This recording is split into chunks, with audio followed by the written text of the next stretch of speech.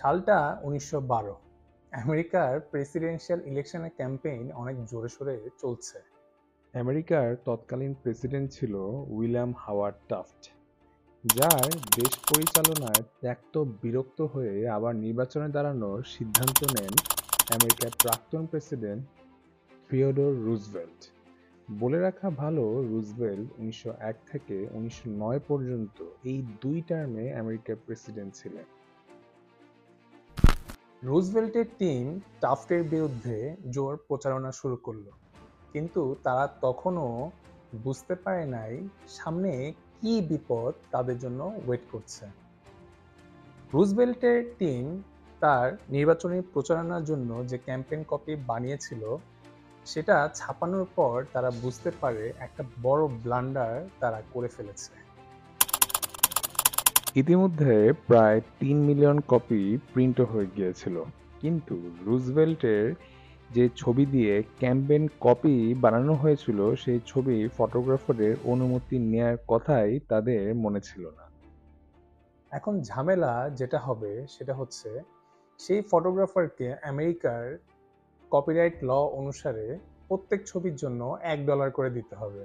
তাহলে তিন মিলিয়ন কপির জন্য তাকে দিতে হবে থ্রি মিলিয়ন ডলার আমি যে সময় কথা বলছি, অর্থাৎ উনিশশো বারো, সেই সময়ে তিন মিলিয়ন ডলার কিন্তু এখনকার দিনে ষাট মিলিয়ন ডলারের সমতুল্য ছিল। এবং যে কোনো ক্যাম্পেনের পক্ষেই এত বড় একটা অ্যামাউন্ট অ্যাফোর্ড করা খুবই ব্যয়বহুল ছিল। এখন আপনি বলতে পারেন, নতুন করে আমি ক্যাম্পেইন কপি যদি ছাপাই, তাহলে তো হতো। কিন্তু আমি আবার আগেই বলেছি যে নতুনভাবে ক্যাম্পেইন কপি যদি আমার ছাপাতে হতো, সেই সময়টা সেই নির্বাচনের আগে ছিল না। নির্বাচনের আগে নতুনভাবে তিন মিলিয়ন ক্যাম্পেইন কপি ছাপানো ছিল একই সাথে ব্যয়বহুল এবং সময় সাপেক্ষ। এরপর রুজভেল্টের ক্যাম্পেইন ম্যানেজার যা করল, সেটা আপনাকে ডিসিশন মেক করতে নতুনভাবে ভাবাবে। রুজভেল্টের ম্যানেজার সেই ফটোগ্রাফারকে মেসেজ করল। আমরা নির্বাচনী প্রচারণার জন্য থ্রি মিলিয়ন কপি ছাপাবো। এই ডিসিশন নিয়েছি, যেখানে রুজভেল্টের ফটোগ্রাফও থাকবে। এটা যে কোনো ফটোগ্রাফারের জন্য তাদের পাবলিসিটির একটা বড় সুযোগ হতে পারে। তুমি যদি চাও তোমার তোলা রুজভেল্টের ছবি আমরা ক্যাম্পেইন কপি হিসেবে ইউজ করব, তাহলে এর জন্য তুমি কত ডলার দিতে রাজি আছো? এই চিঠি পাওয়ার পর সেই ফটোগ্রাফার রিপ্লাই দিতে কিন্তু একটুও দেরি করল না।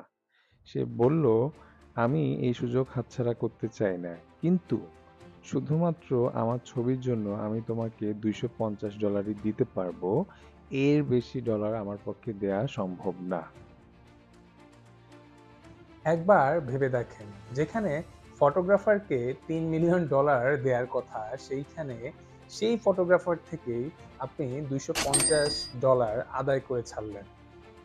আপনার কাছে ব্যাপারটা একটু বাটপাড়ির মতো লাগলেও ঠান্ডা মাথা যদি চিন্তা করেন, তাহলে বুঝতে পারবেন ক্রাইসিস মোমেন্টে ডিসিশন মেকিং কত বড় একটা স্কিল আপনি লয়ার হন কিংবা আপনি হাউসওয়াইফ হন কিংবা আপনি যে কোনো ম্যানেজার হতে পারেন কিন্তু আপনাকে ক্রাইসিস মোমেন্টে কীভাবে ডিসিশন মেক করতে হয়, সেটা সবার আগে শিখতে হবে।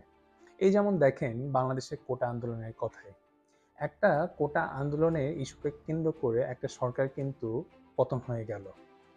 এখন আপনার কি মনে হয়, বাংলাদেশের আওয়ামী লীগ সরকার কি ক্রাইসিস মোমেন্টে ঠিকমতো ডিসিশন নিতে পেরেছিল?